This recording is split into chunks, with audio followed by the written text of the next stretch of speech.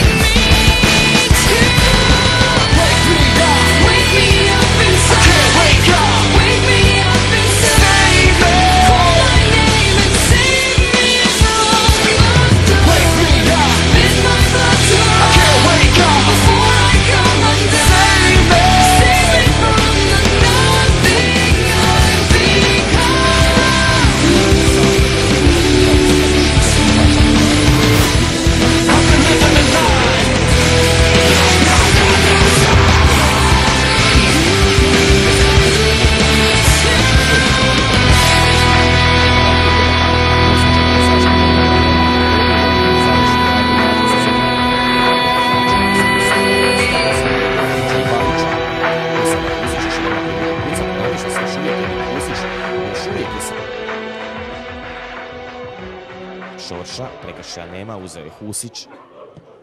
Pokušava dugom loptom naći kapetana Štefančića, ali to je riješio Gavrić. Dino Gavrić. U skoku ponovno.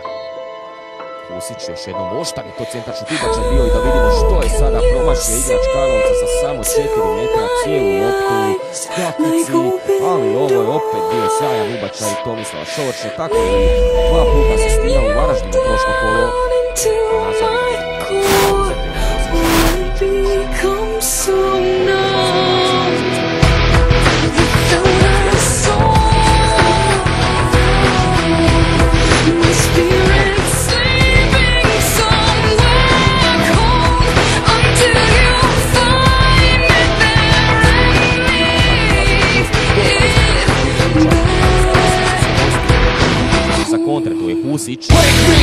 Wake me up inside. I can't wake up.